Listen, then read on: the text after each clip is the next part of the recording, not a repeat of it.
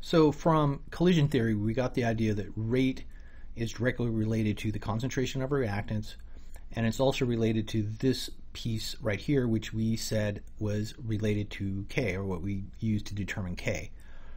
And we're going to take a closer look at this uh, using what's called the Arrhenius equation. So when we look at this, K is really determined by energy of activation and temperature. So R is a constant and CP is a constant that we uh, discussed in the collision theory. Really, those pieces are not what we're interested in, and that's really what the Arrhenius equation is going to do. It's going to really focus on the variables involved and what determines K.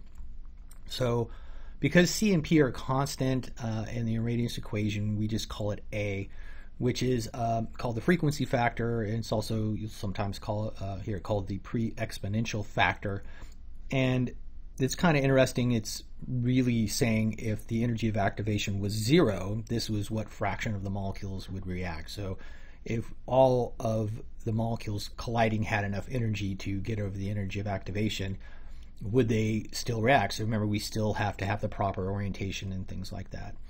Also, the frequency factor has the same units as our rate constant k. So that's just kind of an interesting fact in reality, we don't really don't look for K, so K is going to kind of disappear and it's going to show back up when we actually um, find uh, energy of activation using uh, the Arrhenius equation in a graph. But really, we are not interested in um, the frequency factor. So, so the rest of the piece is called the exponential factor. So that's because you know this part is raised um, e to the power of it. And this is going to be the main determining factor of our K, and it's related to the activation barrier, energy of activation, and the energy of reactants. So that's that comes from our temperature. And really what the Arrhenius equation is going to show is that K changes with changes in the energy of activation and changes in temperature. So I think we've all heard of the idea that reactions speed up when you heat them up. And that idea is shown in the Arrhenius equation by an effect on K. So when we look at this, as our temperature increases, we are going to expect a corresponding increase in K. So that is what's causing the reaction to speed up is we are increasing K, and that's what the Arrhenius equation is going to use. So if we're interested in looking at a uh, change in K versus change in temperature, we are going to use the integrated form of the Arrhenius equation, which looks like this.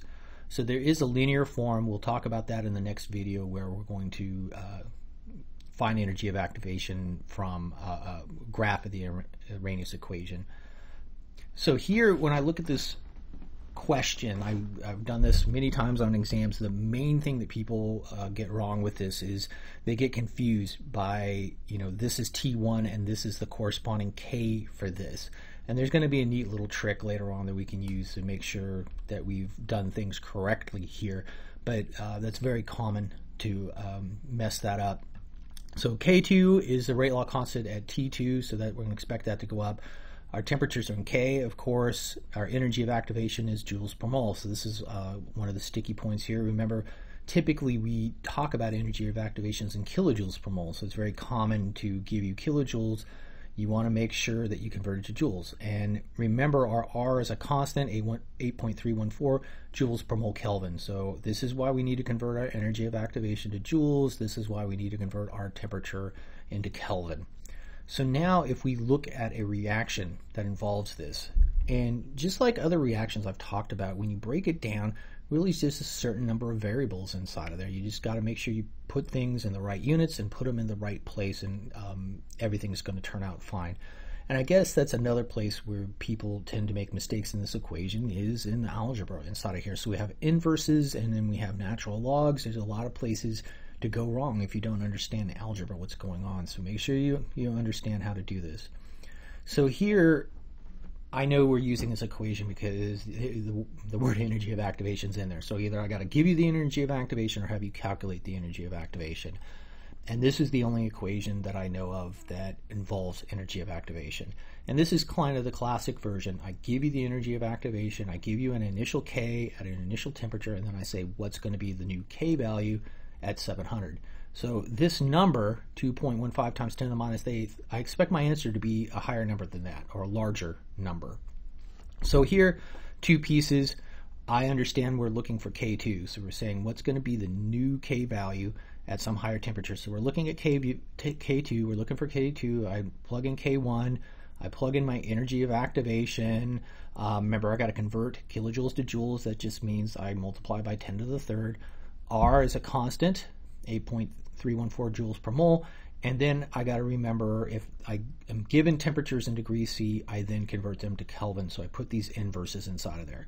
So if you're trying to get to a variable that's inside of a natural log, what you want to do is on the right hand side of equation, go ahead and do the math and crunch this down into one number. And when I'm done, you get, with this calculation, you get 2.4 on the right hand side and all the units cancel out, which makes sense. So we want the units of our answer, K2, to be equal to the units of our answer in K1, so we want no units on the right hand side. So how you get rid of the natural log, log is you take the inverse log, which is e to the x function on your calculator. When I run that through, remember a function just means I turn one number into another number. I take the inverse log of both sides. That turns 2.4 into uh, 11.08. And then when you take the inverse log of a natural log, it gets rid of the natural log. So K2 divided what was my K1 is equal to 11.08. And all I have to do is multiply both sides by my K1, and then I get what K2 is. And remember the units, whatever the units were on K1, that's going to be my units on K2. And then I take a second and say, did my K value increase? So we went from uh, 2.15 times 10 to the minus 8th to 2.38 times 10 to the minus 7th. Minus 7th is uh, represents a larger number than minus 8, so that makes sense. As we increase the temperature, the K value is going to increase.